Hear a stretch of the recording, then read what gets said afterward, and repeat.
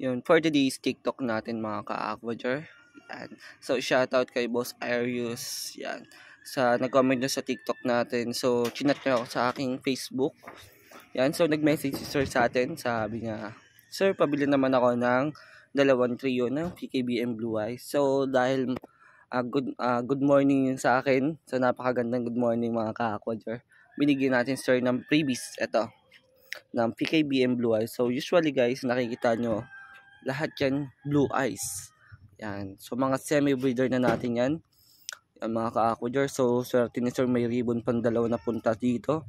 Ito ribbon. Tapos ribbon. Itag isang ribbon. Yan. So, mga ka-aquager nakikita nyo lalo na to guys. Napaka-solid. Yan. So, marami pa tayong blue eyes dyan na makikita. Usually guys, yung iba mga 3 weeks old pa lang pero sobrang lalaki na kasi. Sobrang uh, busog sila sa pakain natin ng 2 Pex. Yan, mapapansin nyo mga kako dyan, ganda. Ito yung previous. Lahat yan blue eyes. And then ito naman yung binili ni Sir Blue Eyes lahat yan. So, di lang maninag sa araw. Yan. So, maninag mo siya pag nasa loob na ng bahay. Ay, nag-glitter eye sila. Ayun o. Yung isa talaga hindi maaninag kasi medyo ano pa yung mata niya.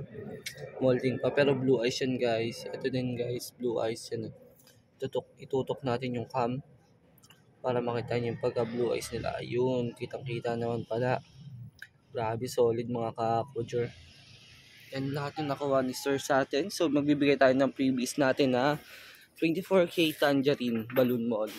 So ito guys yung UV previous natin kay Sir na isa.